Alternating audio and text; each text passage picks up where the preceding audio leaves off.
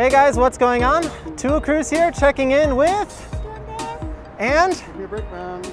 we're here with Victor, Give Me a Break Man, a local YouTuber here in Nagoya, and with Tunchan. And today we're gonna be doing another bike shop tour here in Nagoya, Japan. This is Kamihagi Cycle, one of their other branches here down by Nagoya Station. It is a beautiful location right here. You can see we've got all the winter Christmas lights out here outside, and the shop is just as beautiful inside. So we've gotten a lot of requests to film more bike shop videos, and this is one of their brand new locations. You can see we've got all the bikes out on display out here outside. Absolute stunning display. And we're gonna go on inside, check out all the bikes here. We're actually here with Victor today because he wants to get a new bicycle. Yes, I need your advice. Yes, he needs some advice. I am the designated bicycle expert here in Nagoya. So we're here looking for a new bike for our Victor. So let's go on inside. Let's go. Let's go. Tung is really excited today. We're gonna be getting some food after today's video. But anyway, this is the shop. We're in this nice little shopping area here. We've got all the Christmas lights on display right now. We've got some demo bikes outside here as well. This is the bike parking. This is where we parked our bikes and this is actually Victor's bike. This is his regular commuting bike. You've had this for how long? 20 years. 20 years. It's a great bike, but I've had it for a long time. I want something new. Yeah, it's time for something new. Time for a shiny new bike. And these are our mountain bikes here behind Victor's bike. We rode over here together. They've got a couple other demo bikes here as well. Let's check out what demo bikes they have here. So this says Shijo dekimasu. Shijo means test ride. So it's a test bike. And looks like we got a, an e-bike here, a BESV e-bike, another BESV e-bike. E-bikes are crazy popular now. And oh, these are the, the Trek hybrid bikes. So this is kind of, yeah. this is what you're thinking about, right? I think this one. This is the one oh I want. Maybe. Yeah? Yeah, so Victor's looking for a new cross bike, a new kind of hybrid bike. So the Trek FX, he said he really liked Trek bikes. So that's what he's thinking. He's jumping ship from the specialized train. And I was never really a special like that. I no. Trek, but I couldn't afford them because they were super expensive ones. Yeah. Back in the day. Back in the day. You're a Trek guy at heart though. Yeah. So we're going to be looking at some of the Trek hybrid bikes while we're in here. Anyway, let's go on inside and go check it out. Harimasho. So first things first, we gotta sanitize our hands.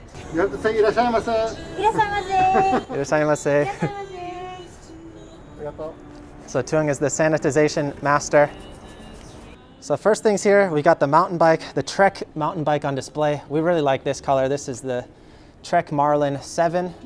And you guys said you want to see the prices, so here we go. I'll try and include as much as I can. We've got a, a Kona here. That's pretty cool to see. I don't see too many Kona bikes in the shops here. This looks like a, a city bike with some nice fat city tires on here. This is a DEW. Before I get to and focus on these bikes, let's do a quick little pan shot of the shop in here. This is a premium kind of display shop. They have all their bikes here on a really nice premium display, and I really like the lights up at the top. So Victor actually pointed this out to me. I didn't notice it when I first came here, but check that out. That's actually designed kind of like a bike spoke, and the hubs on the wheel, that's really cool design. And we've got the reflection on the window because it's, it's pitch black outside right now. It's really dark here early, but beautiful showroom here and a whole bunch of cool bikes on display. There's so many cool things in here and I'm really excited to show you guys. So speaking of Kamihagi Cycle, they're actually a local chain here in the Nagoya region and we filmed a couple videos at their other locations and they're just as cool as here. So if you haven't checked those out, go check out our other videos. But over here, this is the mini velo corner. So we've got some Tern bikes here. This is the Tern uh, Surge, I believe. Yeah, this is really cool. It's got the sort of aero blade kind of tubes. And I was never really a mini velo guy before, but they're starting to appeal to me now, and a, a lot of you guys seem to really like them in the comments. There's an interesting one up there with some mountain bike tires. What else do we have? We've got some Brunos. Brunos are really popular here in Japan, and yellow bike, always love a yellow bike. That's a pretty cool logo. Is that the Bruno logo? Are they all like that? It's kind of like this weird goat. That's my first time seeing that, or actually looking at these up close. That's pretty funny. Uh, still on rim brakes though, but a nice rack on the back. We've got some example luggage back here, some water bottles, some flowers, and some nice fruits. What is that? Some fake tomatoes and uh, cherries, banana. So we've got some more Bruno bikes, some other displays. This one has the, the front rack on there, so different customization options. They have some different accessories. We've got our Brooks saddles. You can never go wrong with the Brooks saddle. And are these Brooks helmets? They make helmets too. That's pretty cool. And over here we've got some more city bikes. Let's check this out. So this is a high-rise kind of city bike. I don't think this would be good for Victor. It's a little bit too upright. I think he still wants to go a little bit faster, but I've seen this bike before at the other Kamihagi branch and it looks really cool, but I wouldn't want to be riding this all day. And Victor was also asking like, what are gravel bikes? Yeah, so I never heard of them before. I talk about Before these things. I talk about these things on my channel, assuming that like everyone knows it. But this might be new information for some people. But gravel bikes or cyclocross bikes are basically like a mix between road bikes and mountain bikes, where they have the same kind of tires, they have the tread as a mountain bike, but they have the same kind of appearance as a, a road bike. So. Uh, some of the advantages are they're lighter than a mountain bike, so you can travel further on more variety of roads and it's more comfortable than a regular road bike. But uh, you don't have the same like heavy weight as a mountain bike and you have the, the same drop handlebars if you prefer those compared to mountain bike. But gravel bikes are really popular right now.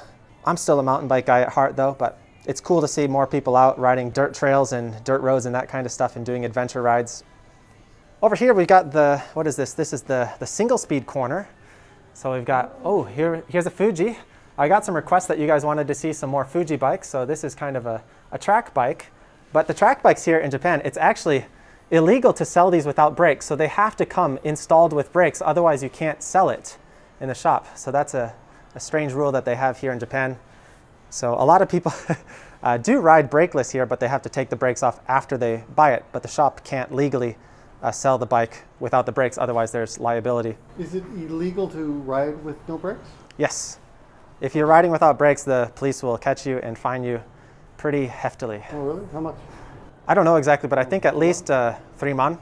Jesus. At least. Yeah. Fortunately, I don't do that. this one looks really nice, but it's also pretty cheap. I'm surprised. Only 59000 yeah, with the single speed bikes, there's no extra gears. You're not really paying for those extra parts. It's just a minimal setup. I like it. So simple looking. Yeah, it's simple and they don't break down. So single speeds are a great option for commuters. But if you're going over hills, uh, you're not going to have any other gears to work with. Oh, right. There's quite a lot of hills here riding in the cities in Japan and lots of bumps and stuff. So uh, single speeds aren't for everyone, but I like the single speed just because it's low maintenance and uh, yeah, they're really cheap. They're really durable. So let me know what is your commuting bike of choice? Do you like hybrid bikes? Do you like single speeds? Do you like mountain bikes, road bikes? What are you commuting on? What do you think is a good option for Victor? And looking back over here, we've got a couple more single speed options. So quite a few of those here, different variety, some with some drop bar handlebars, all around the same kind of price range. These are about 500 to $700. And we've got some flat bar options as well. Here we go. These are all Fuji bikes. Fuji, Fuji, Fuji. And I skipped over here when we first came in here. This is the, the folding bike corner, so we missed this. A lot of you guys have commented saying Dahon bikes are really great, really durable, really solid bikes. I definitely want to try test riding one of these one day, but I don't think they have a test bike here, unfortunately. We've got another green one folded here. I like this green color. That's really cool. And this has the standard drop handlebars. That's nifty. We got some cool jerseys here and I love the customization and all the unique little design things in the shop here. You can see this is a map of Japan here, different areas. So this is the area that we live. This is Nagoya. And you can see they've got some stickers here. This is where all their different Kamihagi branches are. So this is kind of a chain store, but it's only in the Nagoya region in central Japan. So they have, what is this, one, two, three, four, I think they have four or five different branches. And we just, this is the one that we're at today. This is the Sasashima. We also, they have another one at Meijo Park here in Nagoya. So they actually have two here now. And we went to one over there in Komaki the other day. So check out some of our other tour videos if you haven't seen those yet. Let's go over here. Tunchan wants to show something over here. So this is the second big showroom area here. Oh, takai jitensha no tokoro ni kitta ne. Yeah. Yeah, she always has her eye on the expensive, nice bikes. So this is the road bike area. We've got awesome, nice, premium Trek road bikes here. This is the Trek Emonda. This is a bike that we test rode together uh, earlier this summer. She fell in love with it. Really great premium top race bike here from Trek.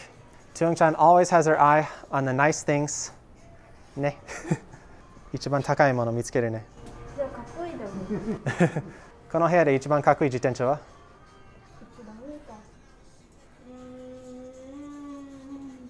So I asked Tung which one she thinks is her favorite bike in the showroom, and she says the ones up at the top, the red Pinarellos. Uh, she can't decide whether it's the one on the left or the one on the right, so you guys vote in the comments. Left? Yes. Uh, Tung-chan's. はい Nani? いやいや she just goes after the price. She looks at which one's more expensive, and then she chooses it.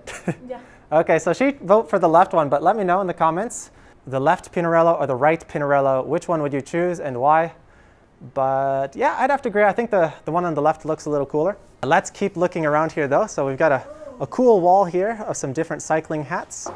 Let's take a look and see what designs we've got. So any cool designs in here, guys? And we've got another nice deep red Trek Emonda right here as well. And this one's actually a test bike, so we can test ride this if we want to. We already rode a Emonda earlier this year, so I don't know if I want to let Tuan-chan ride that again. She might fall even more in love. We've got some more Trek bikes over here as well. So what do we got here? We've got, oh, we've got some Trek jerseys and we've got a Spartacus shirt. That's pretty cool. This one's in Japanese. I know you guys love seeing the, the localized like Japanese custom version. So here we've got a Fabian Cancellara shirt in Japanese. That's really cool. And it's written in the Japanese characters. And what do we got here? this is a Trek Emonda ALR 5 disc. Oh, there's a cool frame back here as well. Playboy. Yellow and pink. Playboy. Huh? Sorry, Playboy no jitensha. Playboy cover. Ah, 女性のったら普通美人。美人。So this is another common question I've gotten on these bike shop tour videos here in Japan is why are a lot of the bikes labeled as sold? Like why don't they just take the bikes home with them when they buy them? And I don't know, it's some weird thing in Japan here where people like to have the bike sort of tuned up before they pick it up. Oh, really? So yeah, they pay for it and then they'll leave it to the bike shop for like a week. They'll tune it up, like make it all nice. I want it today. Yeah, that's a very American way of Home. thinking. I want it now. Yeah, I want it. I want to ride it home. Yes, That's how I feel. So I'm not sure exactly. So we'll see how it happens. Um, do you have the money? Are you ready to buy a bike and ride home today? I'm ready. Okay, so we'll see. We'll see what happens today when Victor tries to buy his bike. Our Victor's not buying a road bike though, so we gotta move back to the other section. But we got some more Pinarellos here. This is the Razha, nice Italian brand. Oh, dirty, huh? What's that? Uh, this might be a customer bike. Yeah, this is probably in for repairs. They're oh, just getting the they're just getting the Oh, handlebars. It's Oh, not a shop bike. Oh, We've got some more specialized bikes here. This is a specialized Diverge E5. Nice budget bike here. And these are some massive tires. Is this a gravel bike? And we've got a cool Project One frame here as well. Trek Factory Racing. And I guess our Factory One bikes, are they still made in Wisconsin or are they, they're just, it just says assembled in the United States now. So maybe the frames aren't made there anymore. Let me know if you know. I remember the, the old school top level Trek frames used to be all made in America, but maybe they're not made there anymore. This is a Gente Jaji. This means limited edition jersey. So this says Nagoya is famous for its local dish with an eel. We made a cycle kit associated with an eel. so this is an eel inspired cycling kit. That's pretty interesting. Check that out. Let's take a look at the backside as well. And let's take a quick look at some of the last few Pinarello bikes before we head back to the other section of the shop. We've got another nice red Pinarello here. This is a Paris 105 mix, 11 speed. We've also got a Pinarello Dogma. This is an F10 My Way. And this section also has the same light up there, the same wheel hub inspired light. That is so cool. I really like that design. Let's keep moving. It looks like they have a section upstairs as well, but I think that's closed to customers. That must just be for like storing the extra bikes. And what is this section? This looks like a, a sort of training room or mirror so you can check yourself on the bike. Maybe it's for checking your position, testing out some of the bikes. Well, maybe this is it. This says Punk Shuri, and this is for a class. So they have a class teaching you how to repair flats. So this must be for their sort of class area for teaching how to do basic mechanic skills. So if you want to learn that stuff, you can come here and do that. So let's make our way back to the front section here. And there's a few more bikes just all hidden around in little corners. So we got another Tern here. We've got some more helmets and we've got the, the Christmas decorations everywhere. Tung and Victor are looking at accessories. And we've also got a KICKR bike here, a Wahoo KICKR bike. This is always really cool to see in person. I saw this for the first time at Eurobike last year, and I haven't seen any in person since then, but this looks awesome. I'd love to have a setup like this for Zwift. I've recently started riding Zwift again, guys, so make sure to follow me on Zwift if you're riding Zwift now. We've got some more water bottles here. What kind of water bottles have we got? Nice variety. Some different team bottles. And these small styles, these seem to be really popular now. I'm a really big fan of the big bottles like this. I like to carry as much as I possibly can. And what is this? This is a fitting room. This is a new jersey. I haven't seen this one. They've got some cool custom jerseys here from Kamihagi. This has the, is that the Italian flag? Kamihagi cycle. Very cool. The guy who runs these shops, the owner, he has some really good design sense. And let's continue on over here. So here we've got our accessory corner. Let's see what we got. We got some bottle cages here, some Bontrager stuff. So Bontrager is what I grew up on. My first racing team back in the US, I was on a Trek team, actually a Gary Fisher mountain bike team, and then I switched to a Trek road team. So I've always been, when I was younger, I was using a lot of Bontrager stuff. So that's really cool to see here in Japan now. It wasn't popular here a few years ago, but now it's starting to really catch on and get really popular here. We've got some more wear here. What do we got? We got a sky jersey.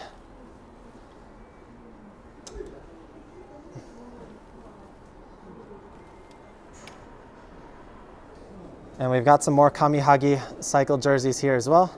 So ride with us. So each Kamihagi shop that we've been to so far has different jerseys. So even though these shops are all really close by to each other in the Nagoya area, they've got different themes, different designs, and a different style so even though you're going to like the same shop, it's completely different shop. They have different stuff. And we've got some nice helmets here.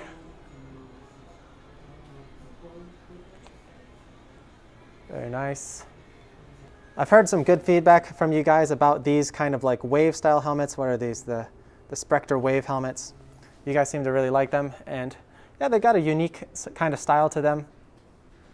We got some more shoes here. What do we got? We've got Bontrager shoes, Fizik shoes, lots of different options. And we've got our cleats down here.